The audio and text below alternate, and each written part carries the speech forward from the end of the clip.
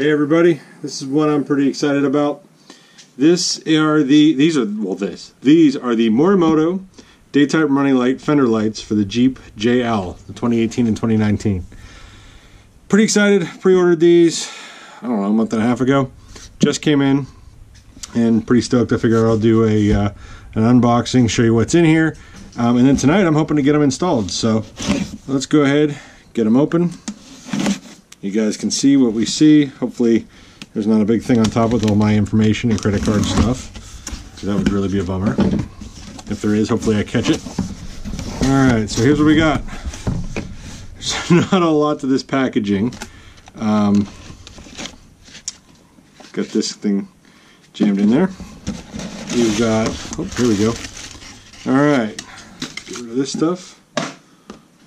I really don't Oh, I guess there's a box underneath and a box next to it. Okay. I expected a box within a box, but this is actually packaged pretty well.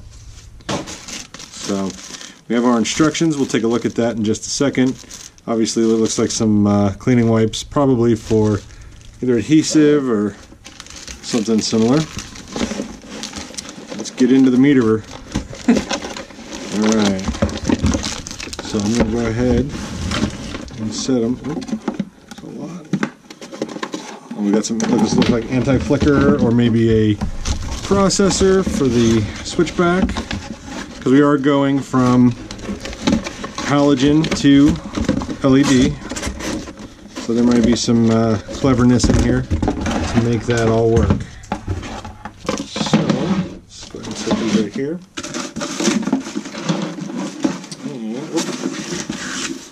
interesting. They give you some 3M two-sided tape. I'll give you two of those.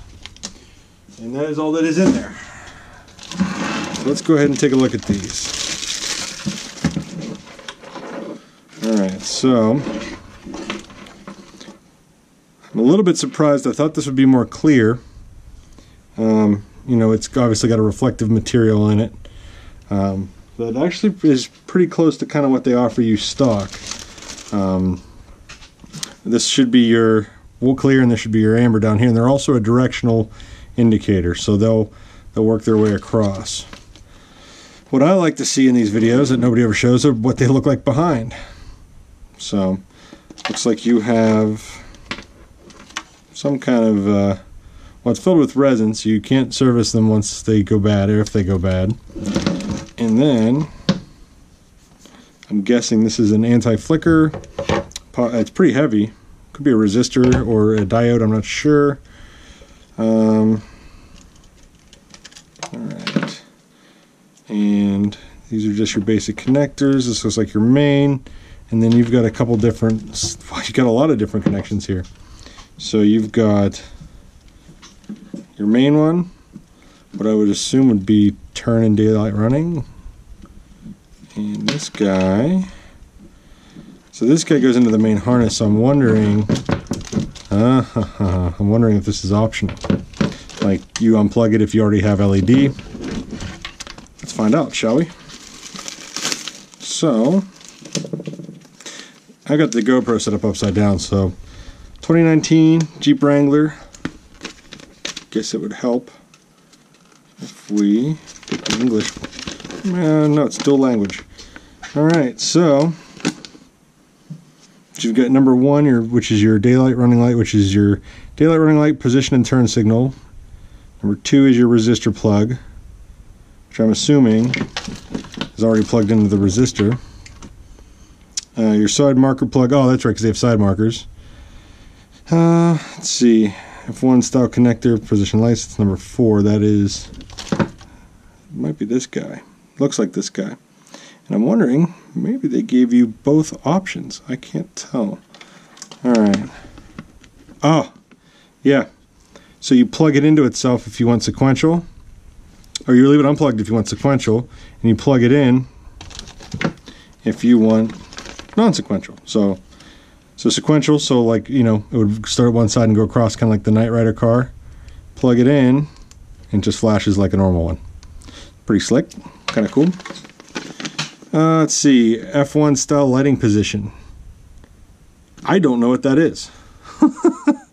um, that's that's why there's so many plugs. They give you options here, so I'm gonna have to tinker with that tonight. So these you plug in for the um, the sequential or not. This one, which is already plugged in, is F1 style lighting position. I don't know what that is. So this should be interesting. So anyway, give you another quick look at what they. I mean, the quality of them looks fantastic. Um, you know, they're marked left hand, right hand. Uh, I mean, all the positioning studs are there. The quality of the plastic. I mean, they're heavy. They don't feel like they're cheap Chinese plastic, and they shouldn't for uh, $250, which is what these ran. Um, and Morimoto is pretty well regarded, as, as I believe, for their um, what do you call them? Their uh, I know I say oh, a lot, guys. They're projectors. Um, so I'll be interested to see how this works. If it's got DOT markings, DOT SAE. So I don't think anybody's ever going to question whether or not these are um, OE or not, other than the fact that they do some cool stuff that OE does not, and they are a significantly cheaper option than OE. OE are 350 a piece when I looked them up, and these ones are uh, 250 for the pair. And you have all the options with the the F1 style, the daylight running light, uh, the sequentials. So, huh? Well, we will see. I will try to get these on tonight. Um, I'm going to do a I'm going to put one in first, see how that all works out, figure out what does what, and then I'll do a video of me putting them in. Uh, and I'll do step to step everything you have to go through. So that's them. I hope you guys enjoy. Checked it out. I will link in the video. And I have no idea what those what the two-sided tape is for. The two-sided tape must just be for all the connectors. I, oh no, it's I'm sorry. Two-sided tape will be for the resistor. So cool. They're certainly light on instructions, but I don't think there's a whole lot to it. All right, uh, thank you for watching, everybody. Uh, subscribe if you haven't already. I'm trying to get to a thousand, and uh, we'll go from there. Thanks, everybody.